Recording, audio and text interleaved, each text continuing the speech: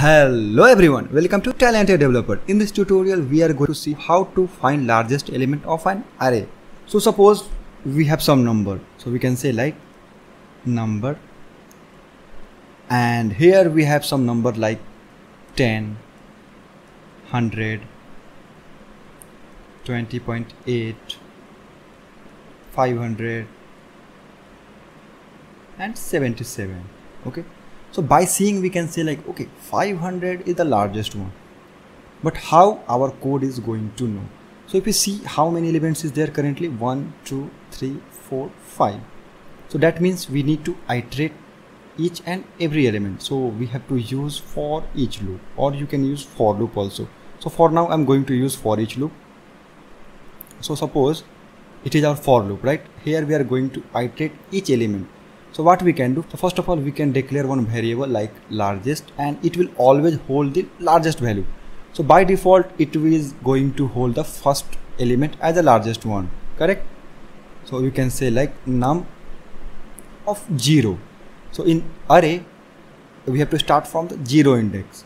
So that's why i have declared 0 that means 10 is the currently largest one. Here we are going to run the for each loop. In that for each loop we are going to use one if condition. In that if what we can do? We can say like largest correct? And suppose we are going to get whatever the element from the for each loop. So suppose we can say like here num. So first time what will be happen? 10 will come right? So 10 is smaller than 10 no. Now when the second element will come on that time is 10 is smaller than 100 correct so it will go in that if condition. So in that if condition we can say like now largest one is equal to what? 100 correct? So next time when 20.8 will come on that time what will be happen? Is 100 is less than 20.8 no. Similarly 500 will come. It will say like okay now 100 is less than 500 correct so now what will be happen? 500 will become the largest one.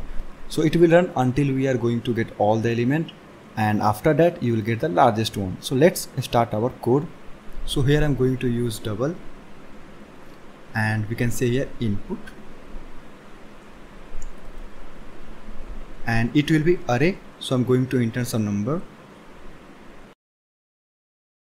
So if you see here right it is showing red color. So if you move your mouse it is showing here what? We have to convert as a array. So please remember whenever you are going to use array you have to use this. So this symbol is generally for array. So now we have to use a variable that is going to hold the largest one. So whatever i just shown to you. So let's say like double largest.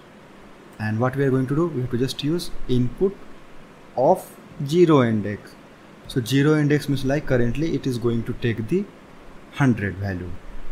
Now for each loop. So for each loop is going to behave like a for loop. So we can say like here double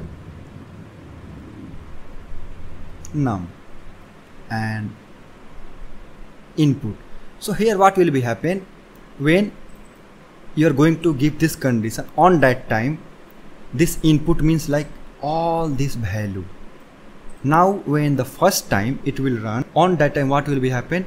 This number will be hold 100 okay? Next time minus 6 so always this number is going to hold the iterated element from this input array. So now what we can do? Just run system.println so you will get more knowledge like how and what this number is holding. Now run this program you can see right first time 100 then minus 6 554 correct? So you got it right? How it is iterating like it is iterating each and every element from this input. Now what we can do just use here if condition. And in that if we can say like largest is smaller than num correct so what it will do? It will hold the largest value. Who is the largest one?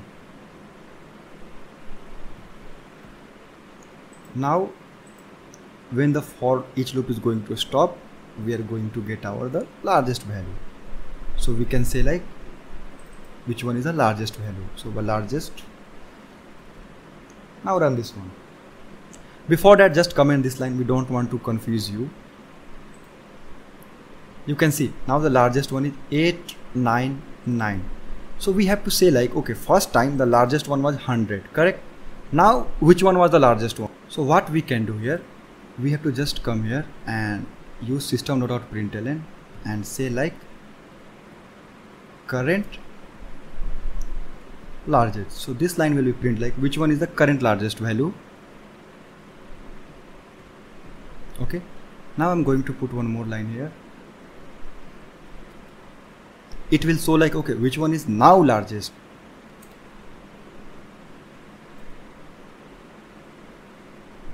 So run this program. You can see current largest 100 correct? On that time first time 100 was the largest one. When it satisfied this condition on that time what was happened? 500 became the largest one. You can see right?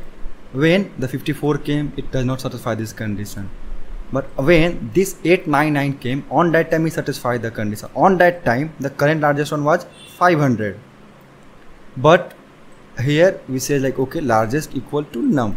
So now the num value was what? 899 you can see here 899 after that there was no value who is greater than 899 so that's why the last output you got the largest value as a 899 i hope you understand this one. So thanks everyone